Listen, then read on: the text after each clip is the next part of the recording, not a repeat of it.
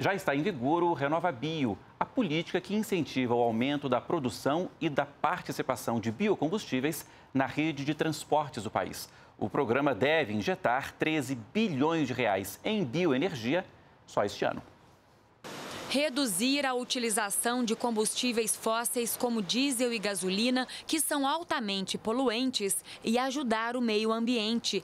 Este é o objetivo do Renova Bio, programa do governo federal que vai trazer uma receita extra para os produtores de biocombustíveis, como etanol e biodiesel. Eles são fabricados a partir de vegetais, como milho, soja e cana-de-açúcar. O programa vai funcionar assim: os produtores poderão negociar créditos de descarbonização, chamados de CBIO, na Bolsa de Valores de São Paulo.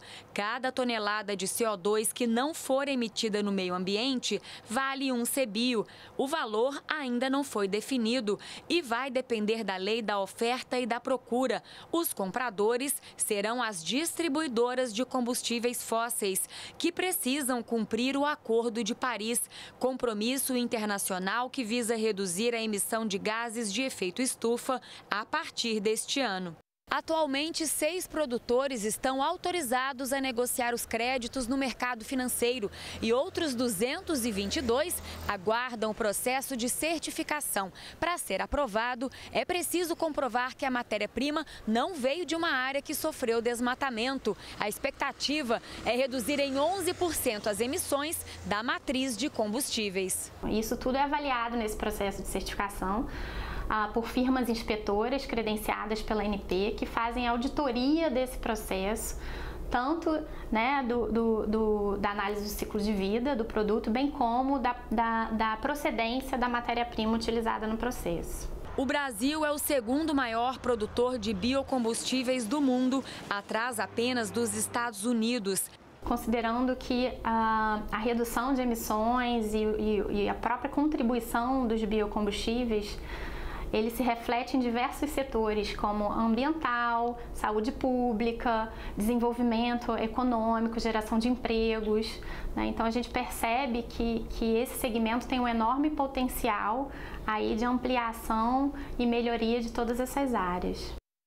Os aplicativos de transporte individual, como Uber e Cabify, aumentaram o número de pessoas que usam o veículo como um instrumento de trabalho. Em apenas um ano, o aumento foi de quase 30%.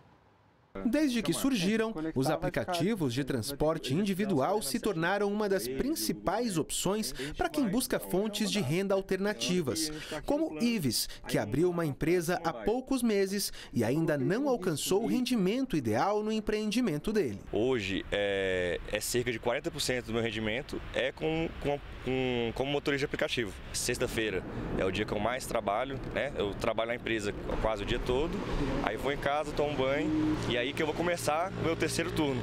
Que aí, aí eu giro a noite toda, vou parar às 6 horas da manhã, 7 horas da manhã, depende de como estiver o movimento.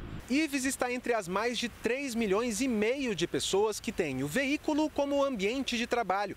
O número de profissionais que se encaixam nesse critério aumentou quase 30% em 2018. Esse crescimento foi impulsionado principalmente pela popularização dos aplicativos de transporte individual.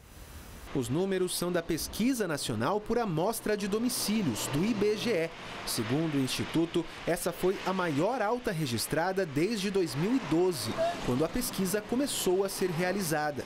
Este especialista em direito do trabalho explica que os aplicativos de transporte individual, ao oferecerem uma oportunidade de renda para a população que estava ociosa, ajudaram a reaquecer a economia do país. A tendência é que você tenha essas pessoas que estavam fora do mercado, que se inseriram por meio de aplicativos, sejam novamente reabsorvidas pelo mercado, que é o resultado, inclusive, do PNAD, que mostra que o número de carteiras assinadas aumentou nos últimos meses e já é uma tendência muito grande de reinserção na, na, no mercado de trabalho de todos esses trabalhadores.